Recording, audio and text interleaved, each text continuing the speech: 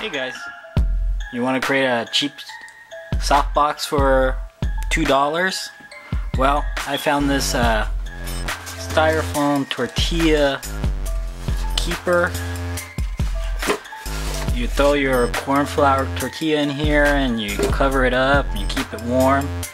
I was thinking, well, let's try to make a softbox out of it. So what I did is I went ahead and I traced out my flash head, cut it, so able to fit it in.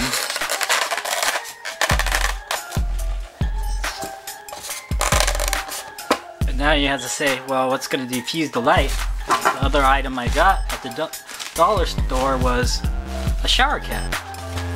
So go ahead and put the shower cap over this. There you have it a softbox. So guys, here's my setup.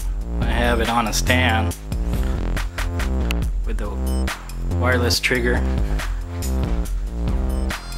Here's my camera with the wire trigger. What I noticed was that beam that was coming out was too harsh. So what I did is I got a little flash card, cut it and stuck it, made it like a little U so what it does is it bounces all around, gives you a, uh, a nicer, softer glow. So here is two example. This one over on the left is the one with the soft box.